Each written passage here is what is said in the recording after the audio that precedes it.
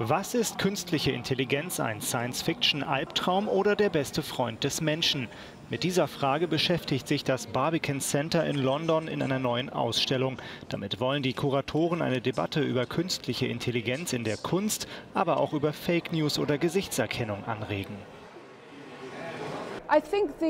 Ich denke, künstliche Intelligenz kommt mittlerweile überall vor. Wir sind an einem Punkt angelangt, wo wir durcheinander kommen. Wir fühlen manchmal sogar Kontrollverlust.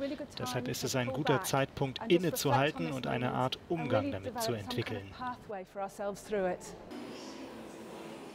Die Ausstellung zeigt die Geschichte der künstlichen Intelligenz seit dem Mittelalter.